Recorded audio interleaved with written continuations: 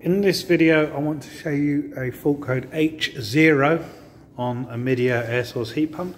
So you can see H0 on the controller says communication error between the hydro box and outdoor unit.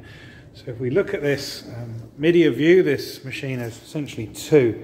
So this one on the right, this is our air source heat pump, and this one on the left is our air conditioning unit, if you will. And notice how both of them have H0 on the PCBs. Essentially, the problem we have is that these two PCBs are not talking to each other. So the first thing to check is that we have power here, um, so there's some lights on. We have power here, so there's some lights on. If there isn't power, the power terminals are coming in at the bottom here. So you'd need to check you've got your 240 volts. But actually what's happened in this case is you'll see there's a little cable here, three core with a red plug, orange, black and grey, which is supposed to be up in here. And this cable runs all the way along the top in here, down to the side of the PCB here.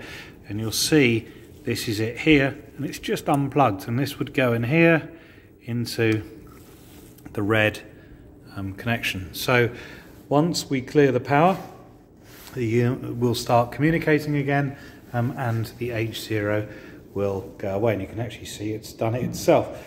So H0 is a strange fault code because it only occurs when the unit is in operation. So um, if the unit is switched off, you don't see it, but when it tries to start, you'll see this fault code.